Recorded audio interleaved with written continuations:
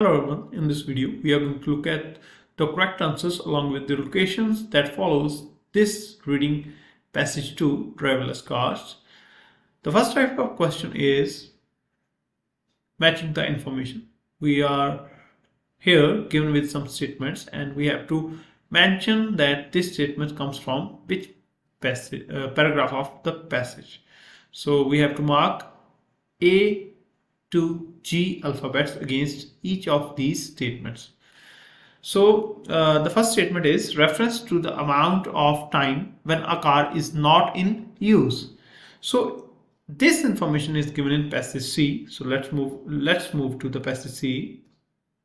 So here uh, I have highlighted this line. The average car spends more than 90% of its life parked.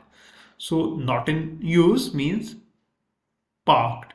So answer is C because it is mentioned in C paragraph.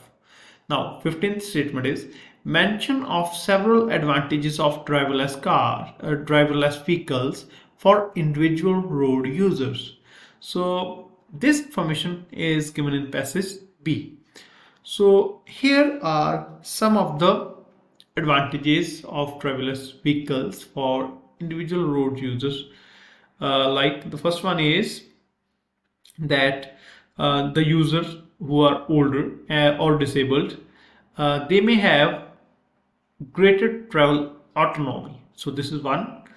Uh, other one is if the driverless car is driving then the individual in the car may uh, be more productive or may socialize or may relax at the time when the driver and when the car is self-driving. So these are some advantages. To an individual user if he is using driverless vehicles. So answer is B because this information is given in the passage B. Now 16 reference to the opportunity of choosing the most appropriate vehicle for each trip.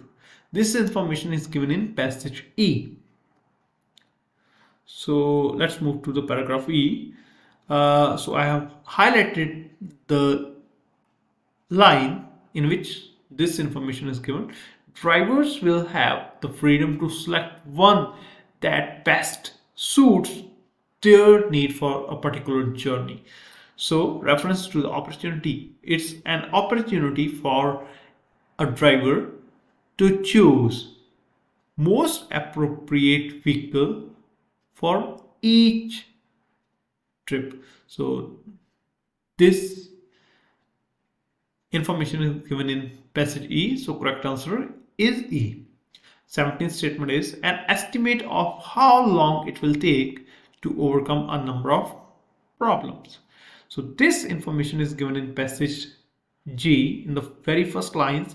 It's clear that there are many challenges that need to be addressed but through robust and targeted research, these can most probably be conquered within the next 10 years. So time is given that is within the next 10 years. So answer is G to the statement 17. Now 18th statement is a suggestion that the use of driverless cars may have no effect on the number of vehicle manufactured. So answer to this lies in paragraph D and here. This faster rate of turnover may mean that vehicle production will not necessarily decrease. To understand, start reading from here and you will get the thing. So this information is mentioned in D paragraph, so correct answer is D. Now, let's move to the second type of the question. This is uh, fill in the blanks and uh, here again we are given with the indication that we cannot use more than two words to fill in these blanks. So let's start. Uh, we have to complete the summary and the summary is in the form of fill in the blanks. Now, Figure, figures from the Transport Research Laboratory indicate that most motor accidents are partly due to dash. So answer is humor error and answer comes from B paragraph here. It is highlighted. Next one is uh, it may bring advantages. For example, schemes for dash will be more workable, especially in town and cities, resulting in few cars on road. So answer is car sharing and the location is in C paragraph. Here I have highlighted this. Automation means that initiatives for car sharing becomes much more viable, particularly in urban areas. So it is mentioned in towns and cities and here it is mentioned urban areas. So it's more viable in urban areas.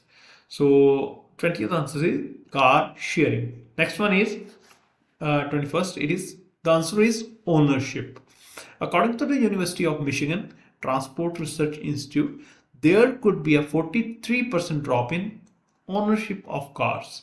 So the answer lies in D paragraph. In the second part of this paragraph, uh, here, modeling work by University of Michigan Transport Research Institute suggests automated vehicles might reduce vehicle ownership. So only ownership because ownership of cars, vehicle type is given that is cars.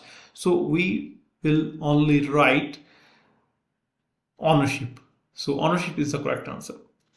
Uh, however, this would mean that the yearly dash of each car would on an average be twice as high as it is currently is. So answer uh, is in the very next line that is by 43% but the vehicle's average annual mileage would be double as a result. So mileage would be double. So mileage is the correct answer. Next, the next type of uh, question is we have to choose two statement that suits best to this which two benefits of automated vehicles does writer mention so we have to choose among these five statements which are the two benefits of automated vehicles that are mentioned by the writer in the this particular passage so the correct answer is c and D. Uh, the two benefits are, let's read C, travelers could spend journey doing something other than driving. And it is written over here that while driving in a traveler's car, the, uh, the people uh, can relax and could be more productive or can socialize uh, while traveling in a driverless car. So from here, uh, answer comes to this question. And uh, the next statement is people who find driving a physically difficult could travel independently. So it is again mentioned in the same paragraph such as older and uh, or disabled travelers may be able to enjoy significantly greater travel economy uh, autonomy so uh, it is mentioned over here that older or disabled travelers could travel independently. So these are two benefits that are mentioned by the writer about the automated vehicles in the passage. The next question is write the correct letters in the boxes uh, and the question is which two challenges to automated vehicle development does the writer mention? So which are the two challenges to the automated vehicle development? So it is mentioned in F paragraph. Challenges are hurdles. There are a number of hurdles to overcome in the delivering automated vehicles. First one is uh, these include the technical difficulties in ensuring that vehicle works reliably in the infinite range of traffic, weather and road situations. So the first one is uh, getting automated vehicle to adapt to various different driving conditions. So different driving conditions mentioned in the passage are infinite range of traffic, weather and roadside situation. And uh, the other challenge is for communities uh, and the societal changes that may be required for community, communities to trust and accept automated vehicles. So here this this one is the correct answer. Making sure the general public has confidence in automatic vehicle. So these are the two uh, correct answers among these. Uh, so we can write a or e in any order for 25th and 6th